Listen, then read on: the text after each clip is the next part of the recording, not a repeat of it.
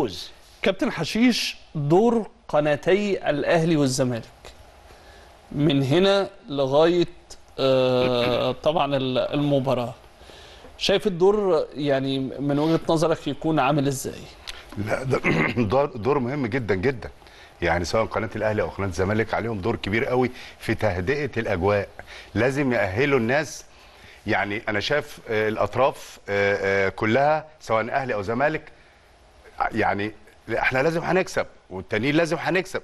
فلازم يأهلوا الناس أو الجمهور ان يا جماعة ده مكسب وخسارة وممكن ال- الكويس يتغلب وممكن الوحش يكسب.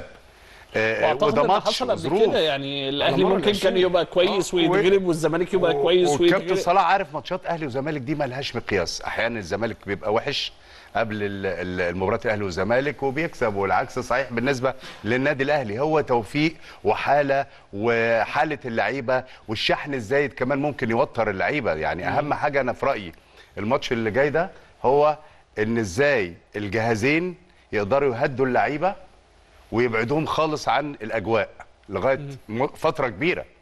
يعني بالنسبة للنادي الأهلي لو هتكلم عن النادي الأهلي آه، موسيماني عايز يبقى في معسكر في برج العرب قبلها ويعمل ماتشين يعني بطريقة معينة. عايز يبعد بالناس. آه، التليفونات دي لازم تتلغي الموبايلات خالص لأن اللعيبة برضو غصب عنها بتبص على الكلام ده. شايف النغمة يعني بتتصاعد على ال- ال- الفيسبوك يعني حاجة صعبة. كل واحد في تربص.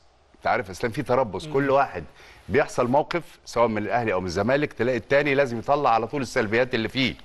زي ما هنتكلم برضو على آه، آه، آه، كابتن حسام والتصريح اللي عمله لمصطفى. مصطفى لعيب كويس جدا جدا. بس إيه المشكلة إن الكابتن حسام يقول عليه الكلام ده؟ إيه المشكلة يعني؟ أنت لما محمد صلاح بدأ احتراف بره مش كنت بتقول واحترف في أحسن حتت بره مش كنت بتقول بس محمد صلاح ناقصه الحتة مش عارف إيه لازم يكمل ما أعرفش إيه لازم الحتة دي.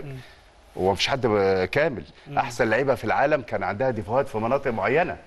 الاحسن لعيبة في العالم. وده لعيب صغير ولسه. مدرب المنتخب بيقول لا، الراجل ده كويس بس عايز يتظبط في حاجات معينة مش عيب يا جماعة. طيب. تحس إن في تربص يعني في المنطقة دي أو في الجزء